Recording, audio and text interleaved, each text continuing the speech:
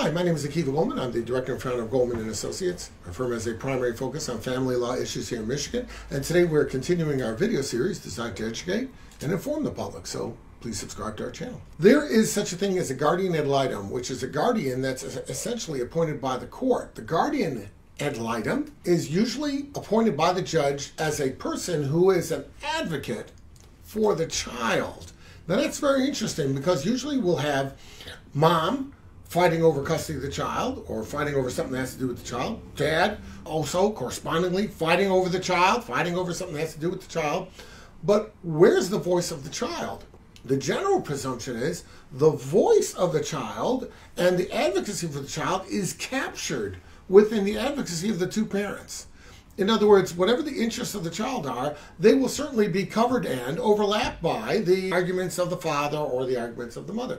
But it's not always the case. Every now and then, the court will find that somebody should advocate on behalf of the child with respect to a particular issue. I'll give you an example of one such case that we had where the court found that it would be appropriate to appoint a guardian ad litem. I once had a, access to a case. I say access because I wasn't really involved in representing either party. This was a case in the Macomb County Circuit Court in front of Judge Marlinga. At that time, he was sitting as a probate judge. And I had been on the case before, but my aspect of the case had finished. But the court had asked me to continue to be involved in the hearings just in case the court needed to resort to me for an opinion on one thing or another. So the proceedings were going along. These two people were fighting over the ashes of a deceased person. The father had died, he was cremated. Ex wife wanted the ashes. Parents of the father they wanted the ashes. And since this was their ex daughter in law, they weren't satisfied that she should have them. They were worried that well, who knows what she would do with them. They would flush them down the toilet. Who knows?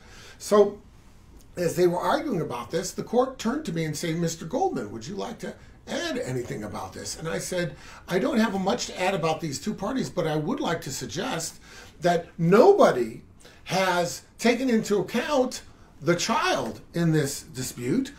This is the father of that child. Perhaps the court might consider appointing a guardian ad litem to advocate the interests of the child.